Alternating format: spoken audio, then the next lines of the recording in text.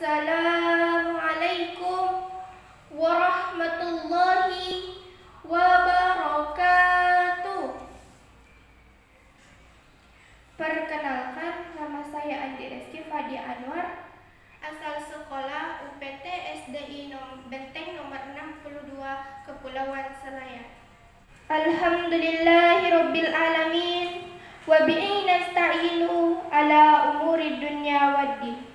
والصلاة والسلام على أشرف الأنبياء والمرسلين وعلى آله وصحبه أجمعين أما بعد Pertama-tama, marilah kita panjatkan puji dan syukur kita kehadirat Allah Subhanahu wa Ta'ala yang telah memberikan limpahan rahmatnya kepada kita semua.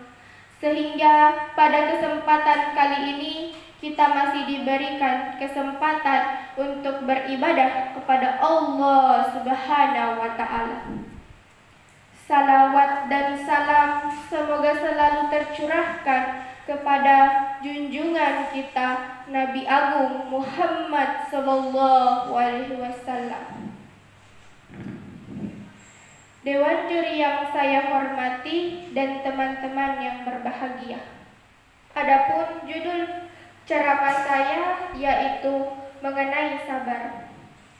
Allah Subhanahu wa taala berfirman dalam surah Al Imran ayat 146. A'udzu billahi minasyaitonir rajim. Bismillahirrahmanirrahim. Wallahu yuhibbus sabirin. Yang artinya dan Allah mencintai orang-orang yang sabar. Dari ayat ini kita belajar bahwa Allah sangat mencintai orang-orang yang sabar. Juga Allah Subhanahu wa taala menegaskan bahwa Allah Subhanahu wa taala bersama orang-orang yang sabar. Dan selayaknya seorang hamba bersabar ketika mendapatkan ujian dari Allah Subhanahu wa taala. Allah menguji kesabaran hambanya dengan berbagai cara. Allah ingin melihat apakah hambanya benar-benar beriman atau berpaling menggunakan jalan syaitan. Sabar itu tidak mudah, butuh perjuangan yang tidak sedikit. Menahan diri dari apa yang kita senangi itu adalah sesuatu yang sangat berat. Ini dijelaskan dalam surah Al-Baqarah ayat 45 yang artinya memintalah pertolongan kepada Allah Subhanahu wa taala dengan sabar dan salat. Dan sabar dan salat itu sangat berat dilakukan kecuali bagi orang-orang yang khusyuk. Dari surah Al-Baqarah ayat 45 ini kita belajar bahwa sabar itu tidak mudah kecuali bagi orang yang khusyuk dan istiqomah dalam menjalankan ibadah kepada Allah Subhanahu wa taala.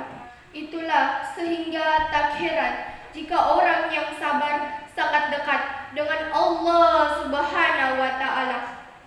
Innallaha ma'as sabirin. Sesungguhnya Allah Subhanahu wa taala bersama orang-orang yang sabar. Dewan juri yang saya hormati, ada tiga kesabaran yang harus dijaga. Yang pertama, sabar menahan amarah. Ada suatu contoh dari kisah Nabi Yusuf. Di, sejak lama dia dibenci dan dijauhi oleh saudaranya. Dia diperlakukan tidak adil, tapi Nabi Yusuf tetap bersabar. Akhirnya Nabi Yusuf menjadi amat mulia orang yang mampu bersabar. Amarah yang membara itu manusiawi. Marilah kita berusaha untuk menghilangkannya dan mengendalikannya. Yang kedua, sabar menghadapi godaan nafsu. Kembali saya mengambil contoh dari Nabi Yusuf yang digoda seseorang yang ingin mengajaknya bermaksiat. Tapi Nabi Yusuf tetap tegar dan meminta pertolongan Allah Subhanahu wa taala. Dan yang ketiga, sabar menghadapi ujian dari Allah Subhanahu wa taala. Tidak ada seorang hamba yang mengaku dirinya beriman tapi tak diuji oleh Allah Subhanahu wa taala. Dengan kesabaran kita mampu melewati ujian yang sangat berat. Untuk itulah hadirin rahimakumullah. Marilah kita terus bersabar melakukan yang terbaik agar mampu melewati ujian dari Allah Subhanahu wa taala. Demikian ceramah dari saya. Semoga bermanfaat untuk kita semua dan kita semua termasuk orang-orang yang sabar. Amin ya rabbal alamin.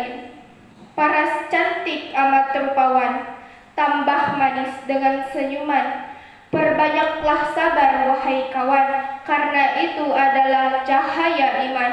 Wabillahi taufiq wal hidayah. Wassalamualaikum warahmatullahi